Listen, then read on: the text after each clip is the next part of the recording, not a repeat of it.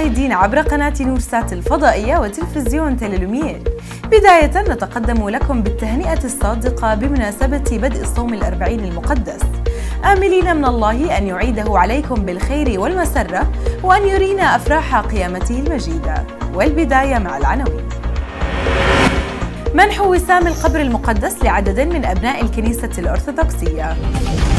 الكنيسة القبطية في الأردن تحتفل بتذكار نياحة البابا كيرلس الكاريتاس الأردنية تختتم مشروع موسيقى من أجل السلام. وفيها أيضا المطران خريستوفوروس يلتقي الكهنة ومعلمي التربية المسيحية. أهلا بكم. قلد غبطة البطريرك ثيوفيلوس الثالث عددا من أبناء الكنيسة الأرثوذكسية في المملكة وسام القبر المقدس ودرع مطرانية الروم الأرثوذكس. وذلك لقاء جهودهم الطيبة وعطائهم الموصول لخدمة الكنيسة وأبناء الرعاية. إلى التفاصيل. الرب يرعاني فلا شيء يعوزني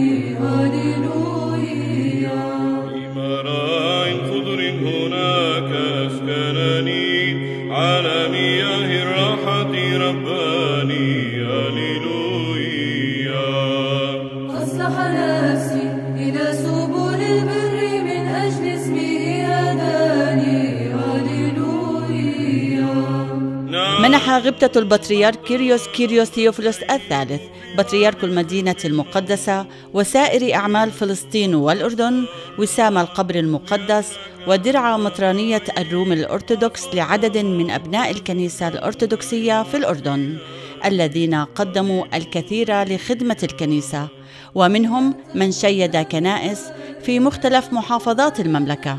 فقد قلد غبطته كلا من السيد قيصر الداود وعائلة المرحوم إبراهيم قاقيش.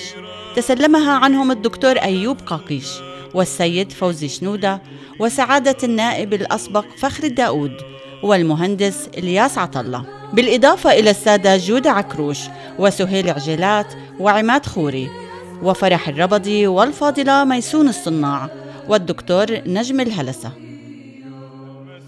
نحن كيريوس كيريوس. ثيوفيلوس الثالث بطريرك المدينة المقدسة وسائر فلسطين والأردن.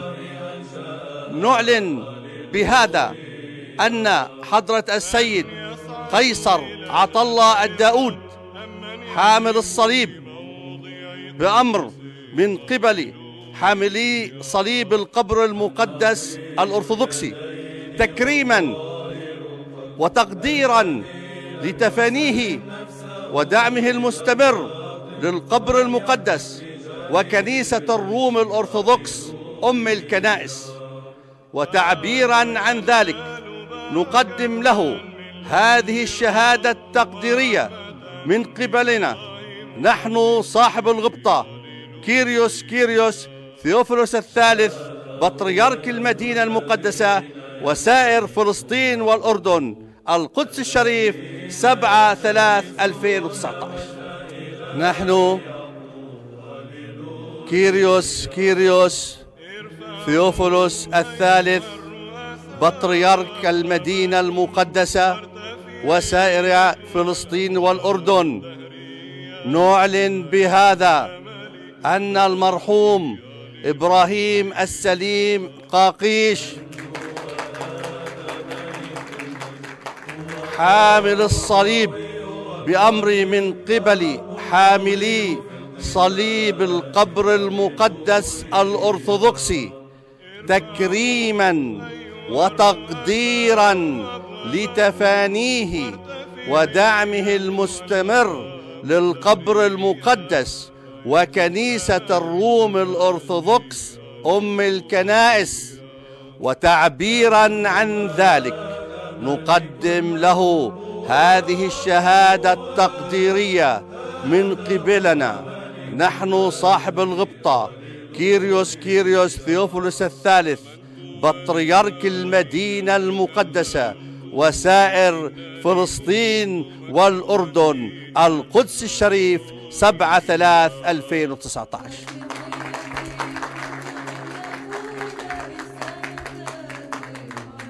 نحن كيريوس كيريوس ثيوفيلوس الثالث بطريرك المدينة المقدسة وسائر فلسطين والأردن. نعلن بهذا أن حضرة السيد فوزي عبد المسيح فتيم شنودة حامل الصليب بأمر من قابلي حاملي صليب القبر المقدس الأرثوذكسي تكريما وتقديرا لتفانيه ودعمه المستمر للقبر المقدس وكنيسة الروم الأرثوذكس أم الكنائس. وتعبيرا عن ذلك. نقدم له هذه الشهادة التقديرية من قبلنا نحن صاحب الغبطة كيريوس كيريوس ثيوفيلوس الثالث بطريرك المدينة المقدسة وسائر فلسطين والأردن. القدس الشريف 7 3 2019 نحن كيريوس كيريوس ثيوفيلوس الثالث بطريرك المدينة المقدسة وسائر فلسطين والأردن. نعلن بهذا أن حضرة معالي حضرة السيد فخر اسكندر حنا الداود حامل الصليب بأمر من قبلي حاملي صليب القبر المقدس الأرثوذكسي تكريما وتقديرا لتفانيه ودعمه المستمر للقبر المقدس وكنيسة الروم الأرثوذكس أم الكنائس وتعبيرا عن ذلك. نقدم له هذه الشهادة التقديرية. من قبلنا نحن صاحب الغبطة كيريوس كيريوس ثيوفيلوس الثالث بطريرك المدينة المقدسة وسائر فلسطين والأردن القدس الشريف 7 3 2019 نحن كيريوس كيريوس ثيوفيلوس الثالث بطريرك المدينة المقدسة وسائر فلسطين والأردن. نعلن بهذا أن حضرة المهندس إلياس شفيق واصف عطلة حامل الصليب بأمر من قبل حاملي صليب القبر المقدس الأرثوذكسي تكريما وتقديرا لتفانيه ودعمه المستمر للقبر المقدس وكنيسة الروم الأرثوذكس أم الكنائس. وتعبيرا عن ذلك نقدم له هذه الشهادة التقديرية من قبلنا نحن صاحب الغبطة كيريوس كيريوس ثيوفيلوس الثالث بطريرك المدينة المقدسة وسائر فلسطين والأردن. القدس الشريف 7 3 2019 السيد جودة عبد الله عقروش. جودة عبد الله عقروش أن نتقدم إلى صاحب الغبطة لكي يكرمه. ولسوف يعطيه غابة البطريرك بركة القبر المقدس أيقونة لكي تحفظ حياته وصليب لكي يحفظه وهو وعائلته. نطلب من السيد سهيل مخائيل إعجيلات أن يتقدم من صاحب الغبطة لكي يكرمه ويقلده أيضا صليب ببركة القبر المقدس وأيقونة القبر المقدس القابل للحياة. لكي يحفظه هو وذويه. والآن نطلب من السيد عماد أيوب خوري أن يتقدم إلى صاحب الغبطة لكي يكرمه ويعطيه أيقونة ببركة القبر المقدس القابل للحياة ويقلده الصليب الخلاص والفداء لكي يحفظه هو وأسرته. من السيد فرح فض الربدي أن يتقدم إلى صاحب الغبطة ليكرمه على هذا العطاء وهذه الخدمة ويعطيه أيقونة القبر المقدس القابل الحياة ويقلده صليب الفداء والخلاص. والآن نطلب من الفاضلة ميسون لطفي الصناع من أجل التقدم إلى صاحب الغبطة ليكرمها. فهي المرأة المناضلة التي تتشبه بحملات الطيب اللواتي كنا مع السيد المسيح يعملن بجد واجتهاد من أجل نجاح مسيرته. فينطبق عليك هذا اللقب لخدمتك للكنيسة والوطن في ظل جلالة ملكنا المعظم عبد الله الثاني بن الحسين. حفظه الله ورعاه.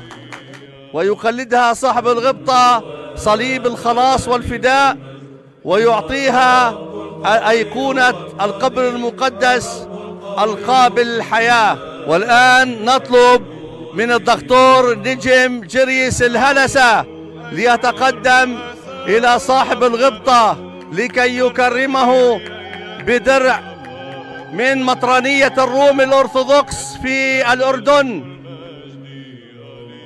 تقديرا لجهوده وعمله الدؤوب من أجل رفع الكنيسة. ولسوف يعطيه صاحب الغبطة أيقونة ببركة القبر المقدس القابل للحياة. ويزينه بصليب الفداء والخلاص هو ومن معه وذويه. تقديرا لجهودهم في خدمة الكنيسة الرومية الأرثوذكسية وبطريركية أم الكنائس المقدسية وعملهم الدؤوب في خدمة المجتمع الأردني في ظل صاحب الجلال ملك عبد الله الثاني بن الحسين المعظم. حفظه الله. نكرمهم بدرع مطرانية الروم الأرثوذكس في الأردن وصليب القبر المقدس ببركة القبر المقدس القابل الحياة وأيقونة لكي تحفظ حياتهم. وكل عام وأنتم بألف خير. وألقى سيادة المطران خريستوفروس عطلة كلمة باسم غبطة البطريرك شكر فيها كل من يعطي بعيدا عن عيون الناس. فللعطاء غبطة أعظم من الأخذ. والأيدي التي تعطي بمحبة وسخاء لا تقل عظمة عن تلك الأيدي التي ترفع للصلاة في بيوت يذكر فيها اسم الله المحب. وتنشر فيها رسالة السلام التي جاء بها السيد المسيح مبشرا منذ ولد على هذه الأرض المقدسة وتعمد فيها. وأكد سيادته على أن الكنيسة دائما تقدر كل الجهود التي تقدم لها مهما كانت بسيطة. فالله ينظر ويجازي ولن ينسى حتى لو كأس ماء بارد قدم من أجل اسمه. ولهذا كل من يعمل في الكنيسة ينال الكثير من البركات الأرضية والسماوية. التكريم كان هو دلالة من وعرفان من قبل الكنيسة وتقدير على كل الجهود اللي بيبذلوها بعض أشخاص. بالطبع الكنيسة هي بتكرم وبتبارك كل أبنائها ولما يخصص بعض مش معناته إنه الثاني لا يكرم ولكن في الكنيسة الكل يكرم بنعمة وبركة الله الغزيرة. ولكن هدول الأشخاص كان لهم دور في المجتمع المحلي والمجتمع الكنسي والمجتمع الوطني. فبالتالي كان دور على الكنيسة منحهم وسام القبر المقدس وبالأخص اللي قاموا ببناء كنائس مثل كنيسة الصعود في خلدة وكنيسة آه، أبو نسير مار الياس. آه، هدول العائلتين عائلة ققيش وشنودة السيد فوزي شنودة وعائلة ققيش. كان لهم دور كتير مهم في آه، إنهم يعطوا قدوة للإنسان في التبرع. وهي بركة كبيرة حتى ذكرهم بيكون دائما مؤبد في بناء الكنيسة. كمان اليوم كان مناسب لتكريم بعض من الشخصيات الثانية اللي كان لها دور برضه في العمل الكنسي إما هندسيا مثل المهندس إلياس عطلة أو مثل أبو ديرار والسيد فخري إسكندر من الفحيص. وكمان كان إشي اليوم مميز كمان للفحيص إنه كمان سيدنا البطرك أعطى الإيكونوموس لأبونا بشارة أصبح إيكونوموس في الكنيسة أعطاه الصليب وبالتالي كمان أعطى بركة كمان أنه لبناء كنيسة بالفحيص وأعطى أول تبرع 250 ألف. هذا التبرع هو كمان مساهمة من قبل البطريركية بقرار من المجمع المقدس زي ما حكى سيدنا البطرك لبناء هاي الكنيسة. والكنيسة كمان راح تكون في كمان كنائس في عدة مناطق مثل هلأ عمالنا بلشنا كمان في كنيسة في السلط لأنه مدينة السلط كمان بحاجة وكان عندنا تبرع كثير سخي من أحد أبناء الكنيسة. باسم حداد في أرض للكنيسة لكنيسة السلط. وإن شاء الله ربنا يساعدنا في بناء هاي الكنائس اللي حتى يتمجد ربنا فيها. كما أعلن غبطته في نهاية التكريم عن تبرع مالي قيمته 250 ألف دولار لتشييد كاتدرائية أرثوذكسية جديدة في مدينة الفحص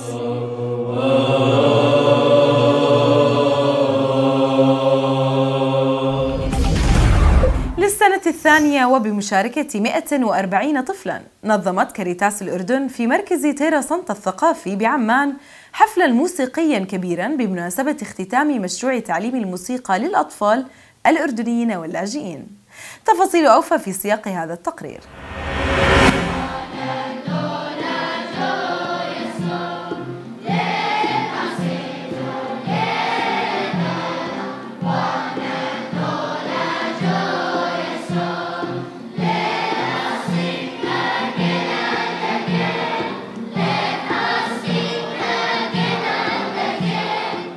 أقيم في مركز ترسانط الثقافي في جبل الويبد بعمان حفل موسيقي كبير نظمته جمعية الكاريتاس الأردنية بمناسبة اختتام مشروع تعليم الموسيقى للأطفال اللاجئين والأردنيين الأكثر حاجة والذي تم الإعداد له منذ سنتين.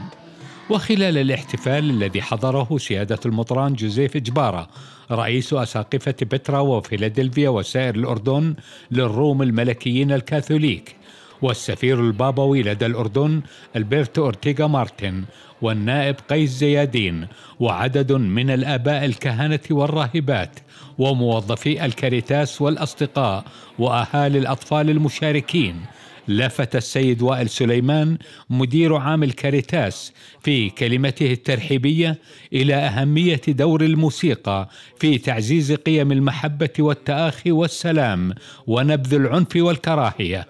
مسلطا الضوء على أهميتها في تربية جيل سلام ومحبة في العالم وبالأخص في الشرق الأوسط. كما قدم الشكر لجميع الشركاء والمساهمين والداعمين من الأردن وخارجه. اليوم كان في عنا حفل اختتام مشروع موسيقى من أجل السلام. آه، للسنة الثانية إحنا عم نشتغل مع 150 طفل. من آه، أكيد أطفالنا الأردنيين سوريين عراقيين. هذا المشروع بتمويل من مؤسسة نمساوية آمنت بأنه الأطفال بيقدر زي ما شفنا اليوم يعني هن ملائكة واليوم شفنا صوت السلام تبعهم بيقدر يوصل بوصل للقلب قبل ما يوصل لأي شيء تاني. فاليوم نحن بفرحة كبيرة إنه اختتمنا. المشروع رح يستمر. غطى بالفترة السنتين الماضيات آه، غطى منطقة الزرقاء ومنطقة مادبة وعمان بالتعاون مع عدة مدارس وعدة مؤسسات وهلأ التطلع لسنتين قادمات لحتى نكبر المشروع ونأسس مدارس صغيرة للموسيقى بعدة أماكن في المملكة شكرا So thank you very much to everybody of you. Thank you, really great thank you to all the Caritas music team and some administration team. وفي كلمته أبدى داعم الحفل البروفيسور جيرالد الرئيس والمدير الفني لجوقة الأطفال في فيينا في النمسا سروره بالحفل وشكر فريق كاريتاس وكامل الفريق القائم على العمل مشيرا في ذات السياق إلى أن بعض الفقرات التي غناها الأطفال يغنيها أيضا أطفال آخرون في كل أنحاء العالم مؤكدا دور الموسيقى في التواصل بين الناس. كونها لغة عالمية مشتركة تصل مباشرة إلى القلوب.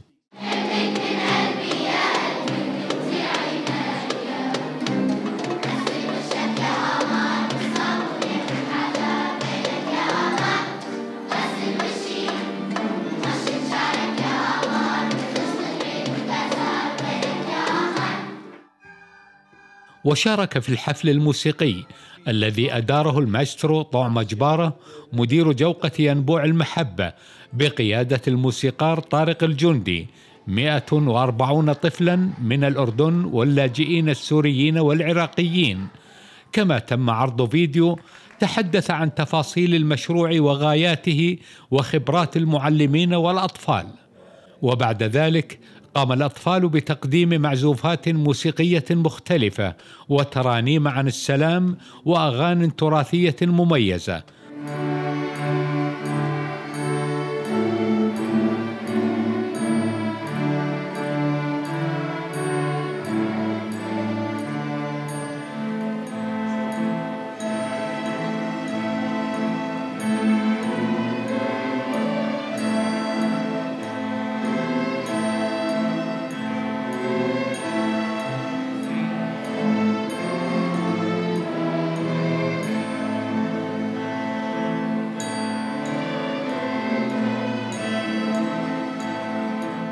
وفي الختام تم تقديم الدروع للجهات المشاركة في العمل وتوزيع الشهادات على الأطفال. بعزف عود آه، وبغني طبعا. فيعني هاي الموسيقى كثير علمتني أشياء وأنا حبيتها وبشكر الأساتذة مع أساميهم طبعا أستاذ سلامة والأستاذ طارق والأساتذة الثانية. آه وبشكر كل واحد ساعدنا والريكوردر والغناء. وهلا أنا صرت على آلة الكمان طبعا أنا أول ما فتت بالموسيقى ما كنت أعرف اعزف إشي على ال recorder بس إنه بدعم الاستاذ معتز آه، كان يعلمني إنه كيف اعزف على ال recorder هو اللي طورني. فهاي السنة إنه أنا كنت اعزف آه، على الكمان يعني لساتني بعزف على الكمان. وغير هيك إنه لأني أنا كثير بحب الموسيقى لأنه الموسيقى من أجل السلام. وقبل هاي الدورة كاملة قبل سنتين أنا كنت اعزف بمركز كنت أتدرب بمركز آه، جيتار. فإنه هلا بعزف كمان وحابة أشكر الاستاذ معتز وأستاذ طارق وكل الأساتذة اللي بالموسيقى عشانهم طوروني والكاريتاس أكيد.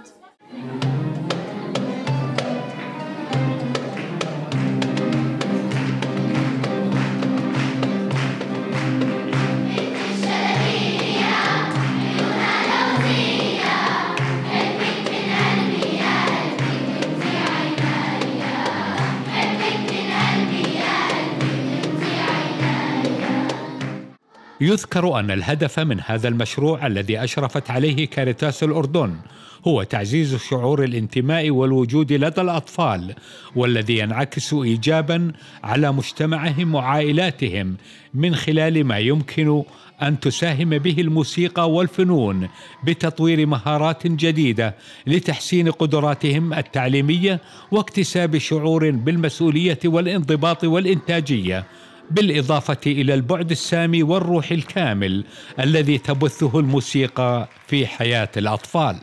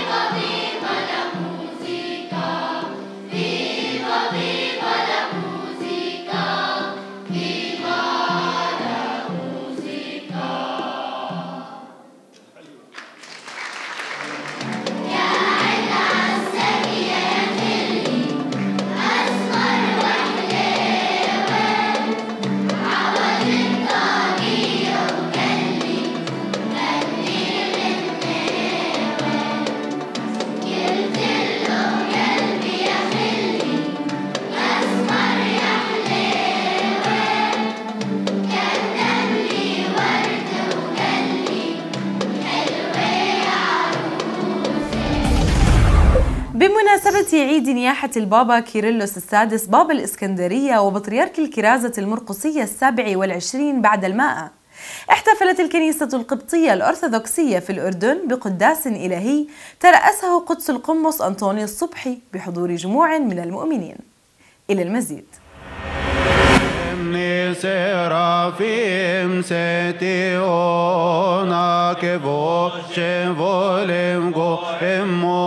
وسط ترانيم وأهازيج روحية احتفلت الكنيسة القبطية الأرثوذكسية في الأردن بقداس إلهي بمناسبة عيد نياحة البابا كيرلس السادس بابا الإسكندرية وبطريرك الكرازة المرقسية المئة وسبعة عشر في تاريخ البابوات. ويعتبر رمزا مسيحيا كبيرا تخطت شعبيته مصر ودول العالم. المكرمين قائلا بدأ القداس الذي ترأسه قدس القمص أنطونيو الصبحي بمعاونة القس ميخائيل ثابت وشمامسة الكنيسة بصلاة الأجبية والمزامير. من ثم القراءات الرسولية والإنجيل المقدس بحضور جموع من المؤمنين. وتحدث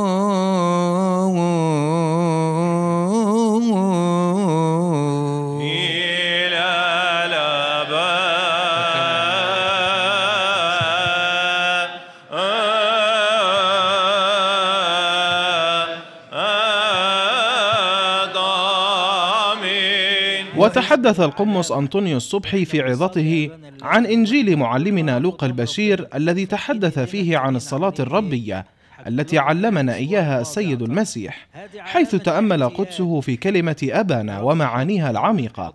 حثنا المؤمنين على عيش الكلمة في حياتنا وأن نجعل الله أبانا يدير أمور حياتنا. إحنا الوحيدين كمسيحيين إحنا الوحيدين في شعوب البشر كلها اللي نقول لربنا أبانا. إحنا الوحيدين كمسيحيين بمختلف الطوائف اللي نتجرأ ونقول له أبويا السماوي. إحنا الوحيدين اللي بيننا وبينه دالة أعطيت لنا من خلال اختياره لنا كأبناء ليه وخاصة ليه. زي ما قال قد اخترتكم وميزتكم من بين الشعوب لتكونوا لي كونوا قديسين كما أني أنا قدوس أيضا. كما تحدث قدسه عن مثل الابن الضال مشبها المثل بحياة الأبوة الأرضية حينما سامح الأب الابن الضال وتساءل قائلا ما بالكم بأبينا السماوي الذي دائما يصفح ويسامح؟ وفي مثل الابن الضال المسيح بيأكد لنا إنه مش هيخليك تنطق بكلمة لست مستحقا أن ادعى لك يا ابني. أنت ابني. طب والكنيسة كلها يا رب. قال بس بس بس بس. ما هو أنتوا عشان في بنوة في أبوتي ليكم وبنوتكم معايا لا أعود أسميكم عبيدا. خلاص مفيش سيد وعبيد. بل أسميكم إيش؟ أحباء. إيه الجمال ده؟ ال- الآب الحنون ده. إيه ده؟ ده في حاجات مش عارفين نعبر عنها بالكلام. لا أعود أسميكم عبيدا. شوف نظرة ربنا لكل واحد فينا. أنت مش عبد. بس إحنا بقى نقول له في اللحن بتاع آه يا الله ارحمنا. نقول له نحن إيش؟ عبيدك. إحنا مش ناسيين. الزمن بتاع جدود جدود جدودنا لما كان في السيد والعبيد. لما نقول له نحن عبيدك في اللحن مع الشمامسة إحنا بنقول له ما ننساش أصلنا التراب. ونقر في مضمونها إن إحنا ولادك يا رب أبانا الذي في السماوات والعلامة دي كده العلامة دي كده. وفي جانب آخر من العظة تحدث قدسه عن فضائل قديسنا المعاصر البابا كيرلس السادس. الذي تعيد له الكنيسة في مثل هذه الأيام وعن المعجزات التي يصنعها لكل طالبيه داعيا الجميع للتمثل بسيرته العطرة التي فاحت أرجاء العالم. والبابا كيرلس بتنطبق عليه الآية اللي بتقول وإن مات يتكلم بعد.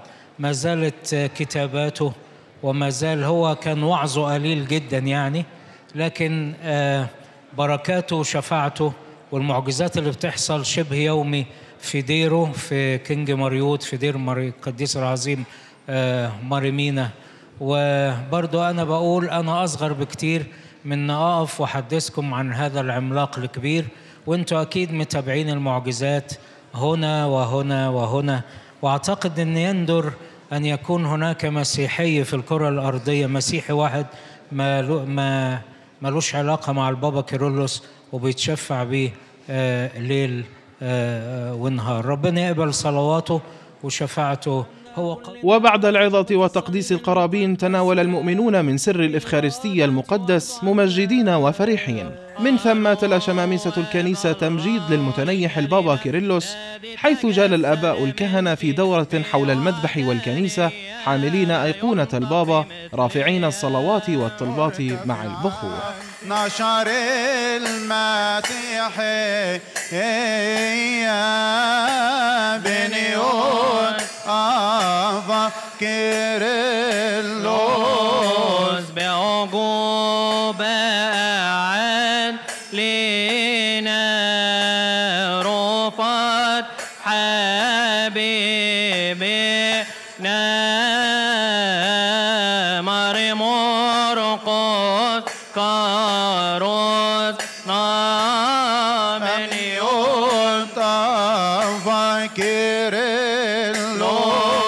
وبعد القداس الإلهي احتفل المؤمنون بالعيد الثامن والعشرين لرسامة راعي الكنيسة القمص أنطونيو الصبحي كاهنا على الكنيسة على يد مثلث الرحمات الأنبا باسيليوس مطران الكرسي الأورشليمي حيث قدم أطفال مدارس الأحد ترانيم روحية لهذه المناسبة. وبعدها قدم القس ميخائيل ثابت هدية تذكارية لقدس القمص أنطونيوس معربا عن فرح أبناء الكنيسة في احتفالهم معه بعيده. الكهنة والشعب والخدام والخادمات والشمامسة وكل الفئات بتشكر قدسك على ال ال الأيام الحلوة اللي أنت بتقضيها معانا وبنقدم لك تذكار صغير علشان تفتكر ولادك في صلواتك. كل سنة وقدسك طيب وعقبال 120 معلش هي هدية صغيرة لكن على قد الحال. كل سنة وقدسك طيب. واختتم الاحتفال بقطع الكعكة والتقاط الصور التذكارية. أسرة مكتب فضائية نورسات الأردن ممثلا بمديرته الدكتورة باسمة السمعان وفريق العمل. يتقدمون بالتهنئة القلبية لقدس القمص أنطونيوس صبحي حنا راعي الكنيسة القبطية في الأردن بمناسبة مرور 28 عاما على سيامته الكهنوتية. متمنيين لقدسه أعواما ملؤها المحبة والسلام والعطاء في خدمة الكنيسة وشعب المسيح.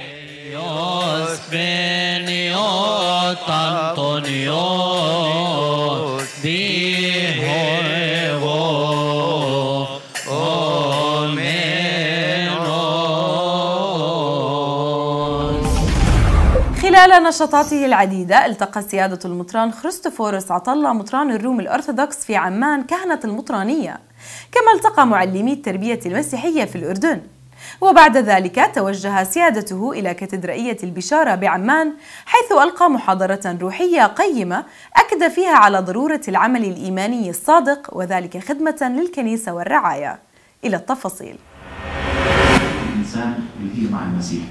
ضمن عمله الرعوي المميز في الكنيسة الأرثوذكسية التقى سيادة المطران خريستوفوروس عطلة مطران الروم الأرثوذكس في عمان كهنة المطرانية في اجتماع شهري أقيم في النادي الأرثوذكسي بعبدون بدأ اللقاء بالصلاة والبركة تلاه محاضرة روحية ألقاها قدس الأب إبراهيم دبور. تطرق خلالها في الحديث عن الأهواء والأفكار الشريرة التي تحارب أبناء الله خلال أيام الصوم المقدس. بطريقة محاضرة اليوم كانت حول الأفكار والأهواء الشريرة خصوصا قبل الصيام كيف يستطيع الإنسان أن يتحرر من أهوائه ومن أفكاره الشريرة؟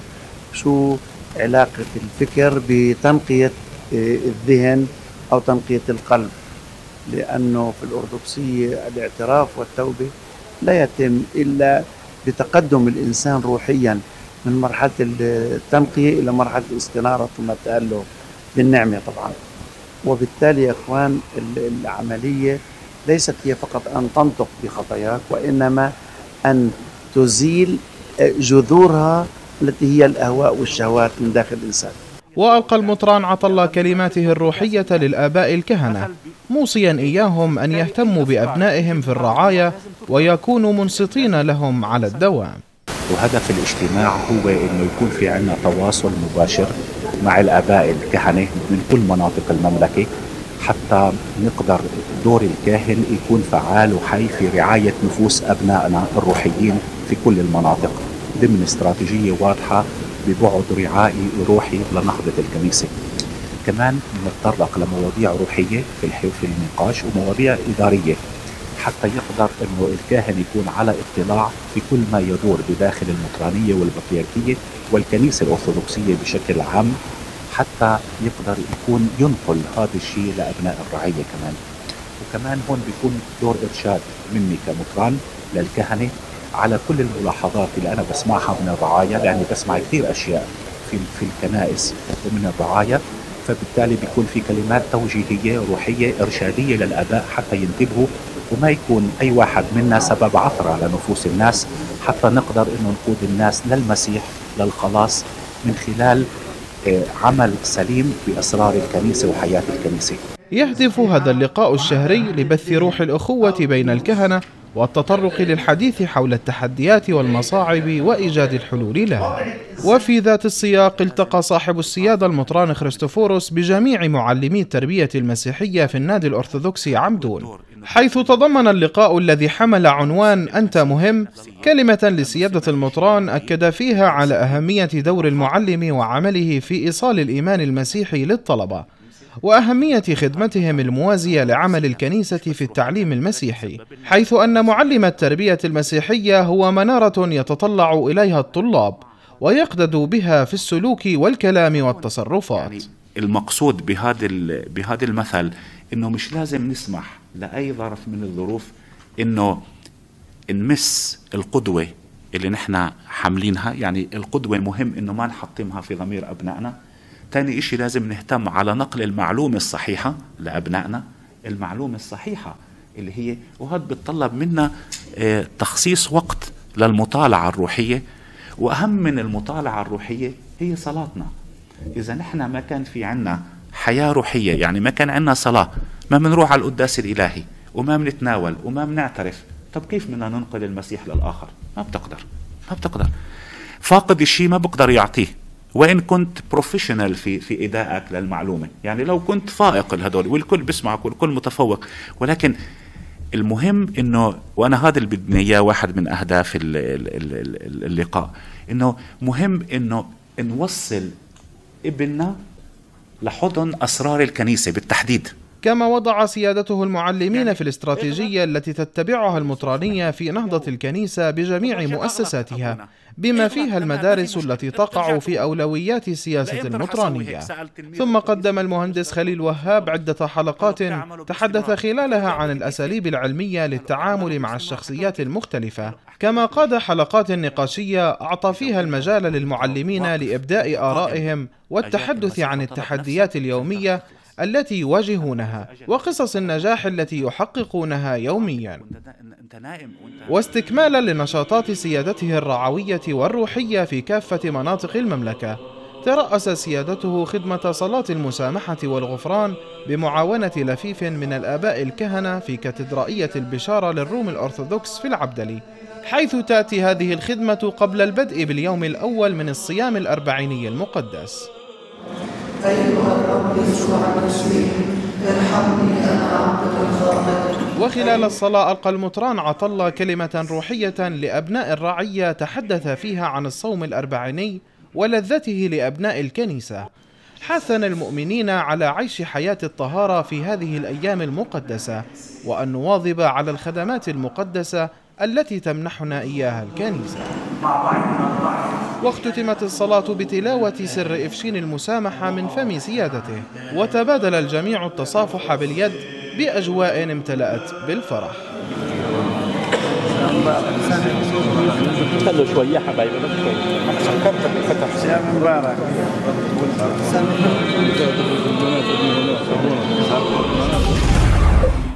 احتفلت مجموعة كشافة ومرشدات دير اللاتين في ماركة الشمالية بعمان بتجديد وعدها الكشفي. بقداس إلهي ترأسه سيادة المطران ويليام الشوملي مطران اللاتيني في الأردن حيث بين سيادته في عظة القداس أن صلاة الإيمان دائما مستجابة.